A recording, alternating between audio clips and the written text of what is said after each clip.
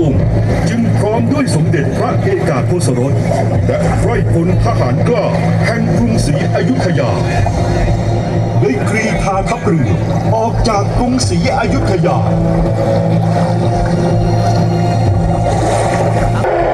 ลุกพลังฮึกเหิมเติมพลังใจ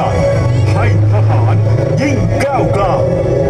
และกฤษดาพินิหารยังบังเกิดกระจ่างฟ้าอีก สุพมงคลนภาเหนือองค์สมเด็จพระ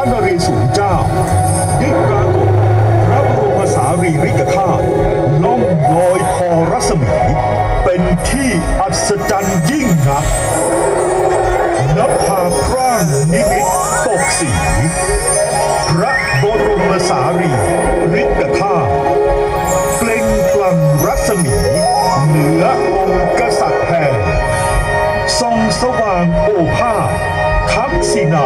วัดเวียนเต็มตาตื้นใจจิต วิญญาณ เกิดพลังฮึกหานเหิมกล้า เลือดพุ่งพร้อมโรนรานข้าศึกถวายแห่สมเปล่งพระบัญชาอายุทยาต้องเป็นไทย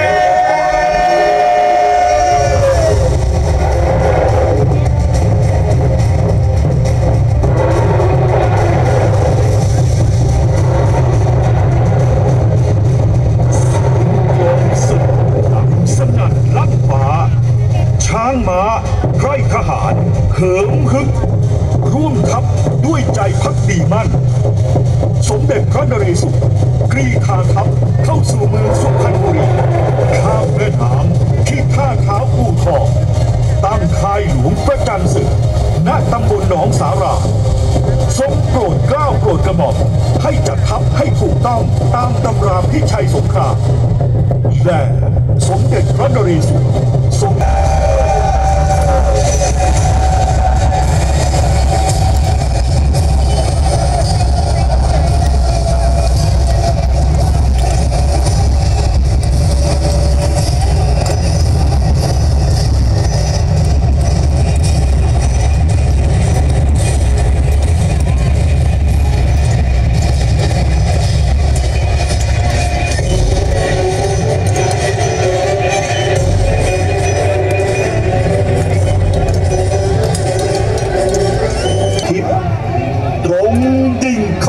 กลางสมรภูมิเลือดโดยที่แม่ทัพนายกองของไทยและไพร่พลทหารตามไปไม่ทัน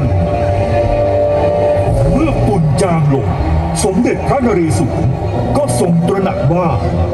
ได้ตกอยู่ท่ามกลางอุ้งขัดมัจจุราชยากขัดขืนคนแม่นปืนของพระมหาอุปราชา โอ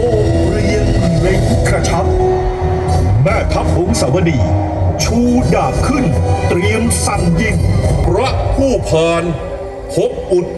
ดมเฮย ไปชอบเชิดยืนหยุดร่มไม้ เชิญราชร่วมพชยุทธพเยอเกียร์ไว้แห่สืบกว่าสองเราไซ สุดสิ้นหรือมี ด้วยพระราชหฤทัยอันเป็นวิสัยกษัตริย์ของพระมหาอุปราชาเมื่อจะประทับยุทธหัตถี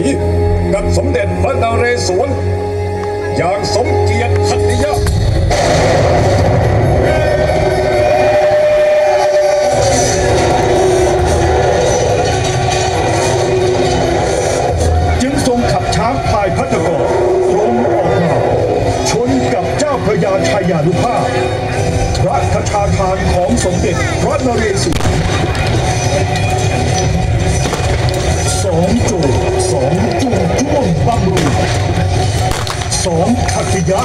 ส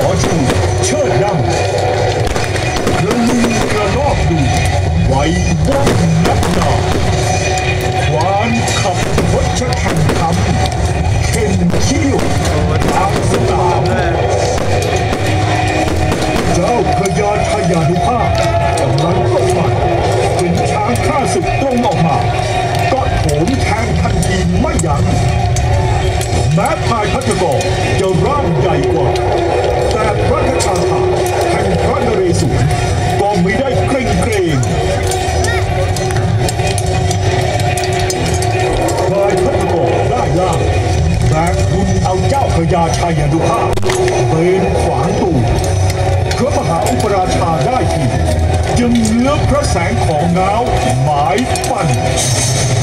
ด้วยเชิงรบอันว่องไวกล้าวกล้า สมเด็จพระนเรศวรเบียดพระองค์ลบกัน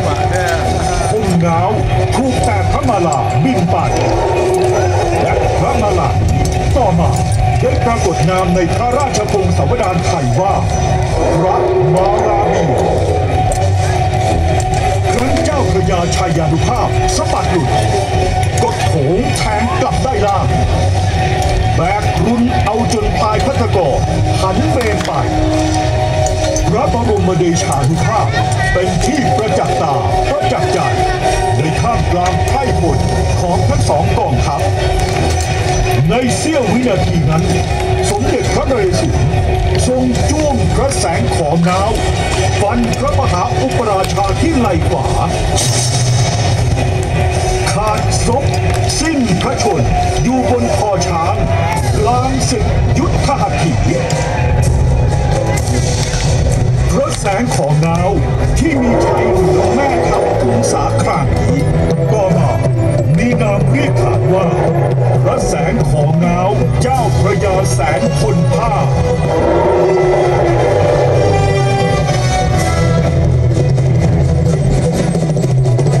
สายกระแสพระบารมีเจิดจรัสประพัดสง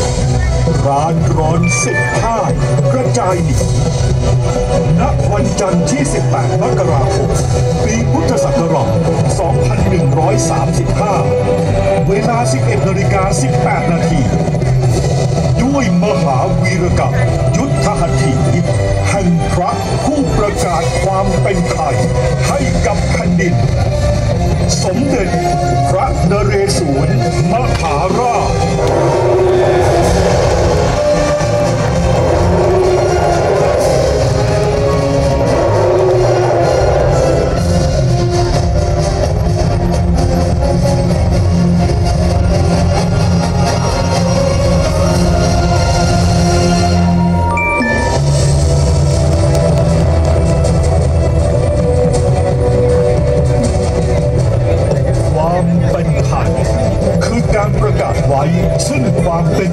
ราชของชาติ เอกราชที่มีมาแต่ครั้งอดีตกาลบ่งบอกถึงความเป็นนักสู้ของคนไทยซึ่งไม่ใช่การประหัตประหารเพื่ออำนาจความเป็นใหญ่ แต่ความเป็นเอกราช คือดำรงไว้ ซึ่งศักดิ์ศรีแห่งความเป็นชาติไทย อันสง่างาม